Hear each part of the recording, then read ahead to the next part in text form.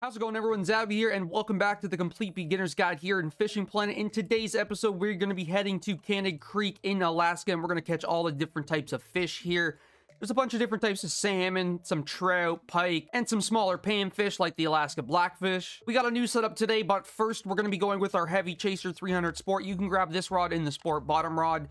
DLC. And then our second and third setups are exactly the same. They are both bottom sniper 300s. We just have two of them. And then our newly acquired Rivertech Zeus 220 with the Thunderspin 5000.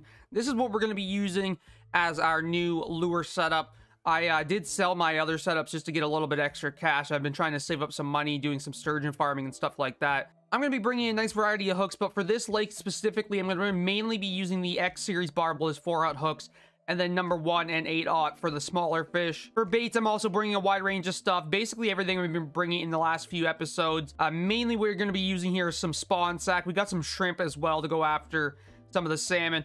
And then for the other smaller fish, like the blackfish, they do like flies, crickets, and mayflies. So I do have some mayflies. I got some dragonflies. Maybe I'll bring some crickets with me just in case as well. Long nose sucker is here too. So make sure you bring some marshmallows or semolina balls. And then also, I'm going to be bringing a casting spoon for a pike. Mainly what I'm going to be using here are these different types of spoons, casting spoons, bullet spinners. That's probably what I'm going to be using here. So you guys can pause the video, bring whatever you'd like. I have a wide range of stuff. You don't need a little bit of everything, but I like to bring a little bit of everything. Make sure you grab an advanced license, and I will see you guys in Alaska. When you get here, track the mission so you know what you need to go after. Now, I've already caught a Dolly Varden from when I was here before, but we need to catch every single type of fish here. So I'm going to start off by going after the Dolly Varden. Go to this middle spawn point here, and then just walk down. You'll spawn back there, and I just walked up to this edge right here. I went down to 2-aught hook size for the Dolly Varden. I got one rod with spawn sack, and then two with dragonflies. And then we're also going to be using this single spoon here. We're just going to be using the smaller one for now. I'm just going to cast a random different spots here. I know there's a couple deep holes around in these rocks. We're just going to cast in a couple different ones here. See, like 1.2 meters is pretty deep for how close that is to the shore there. So we'll cast into a couple of these deep holes. Hopefully we get a Dolly Varden.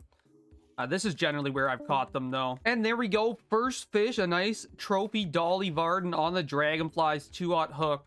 So this was the third rod, so it was cast to the right there a little bit. I will set a marker just so you guys kind of have an idea. But it was just directly right there. Nice and easy to grab. Takes no time at all. I was just using this single spoon and got a bull trout. You can get them with spawn sack and dragonflies and stuff like that. I just haven't had that luck. But I generally fish right here and you should be able to go ahead and grab one. There's the marker, so I just cast it out to about there. And I basically got it as soon as the uh, lure hit the water there. So nice and easy to grab the bull trout. Just fish here for a little bit You'll get some salmon, but eventually you should end up getting it. For the Alaska Blackfish, come on over to the cabin spawn and just walk out onto the little uh, piece of land right here. We're just going to fish in that area to the right, right there. But you can walk out, at least right here. We got small hooks on, number 8 hooks, and we got some crickets, and we're just going to cast pretty much in this area right here. We should be good to go. I believe you can also get the long nose sucker here as well. We'll start out with the blackfish, hopefully get that quick, and then we'll try to go after the sucker here. And there we go. We got the Alaska blackfish already. Nice and easy. Super, super quick in this spot. We're actually going to grab a couple of them, and this is where you actually get the albino blackfish as well.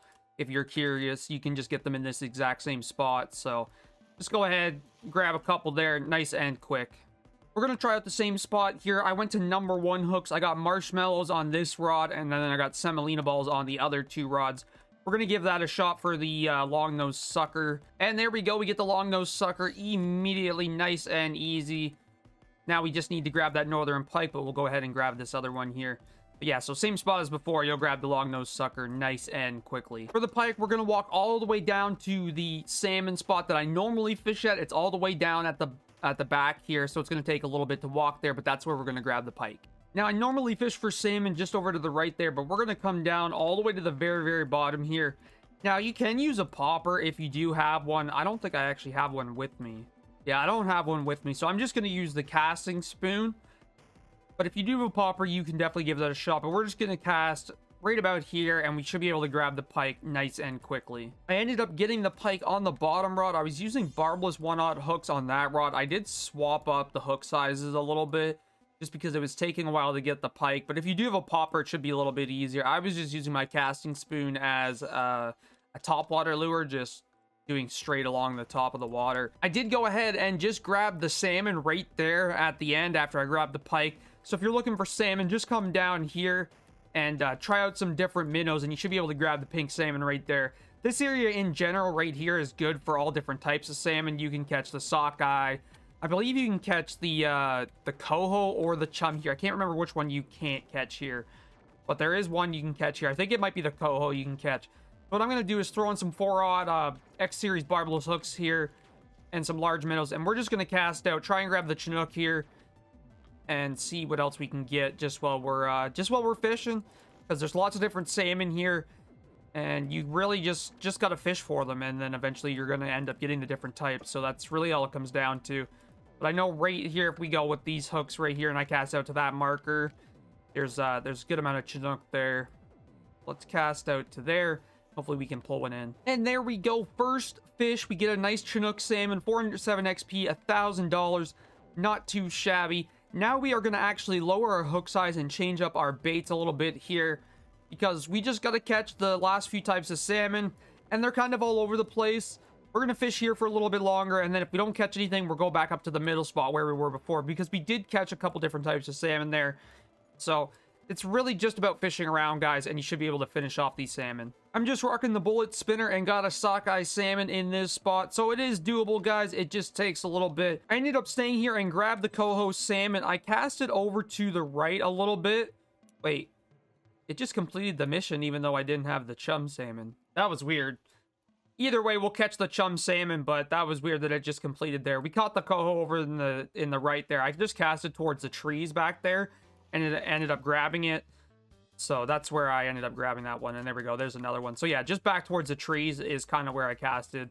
I came back to the middle spawn point, guys, and just casted out in front of me here and grabbed the chum salmon. There's so many different types of salmon over here. You'll be able to grab all different types up here. But yeah, generally in this area right here is kind of where I was grabbing the chum salmon. And also over by this rock too is kind of there. And then all these other areas here, there's a little bit of everything just kind of scattered all over the place since we're here and we already have the uh, caviar bait, we might as well just go ahead and get the monster mission done while we're here. It's super, super easy. So let's just go ahead and get that finished. So we're going to do the same thing we did as when we got the blackfish. We're going to put on super small hooks. We're going to head on over to that cabin spot. And then we're going to put on the caviar bait and get this uh, monster mission finished. Just since we're here and we already have everything ready to go. I forgot you had to have a match rod or a telescopic rod to at least equip the bait to to be able to actually do this. So I can put the bait on the bottom rod here, but I actually won't catch anything. They just hit and then they just uh, go away. So I can't do the mission yet. I'll have to come back and complete it. But that's okay. We're going to get all the monster missions done and everything probably in the next week or so. Anyways, I hope you guys enjoyed this video and I will see you guys in the next one. Thanks for watching and I'll catch you guys later.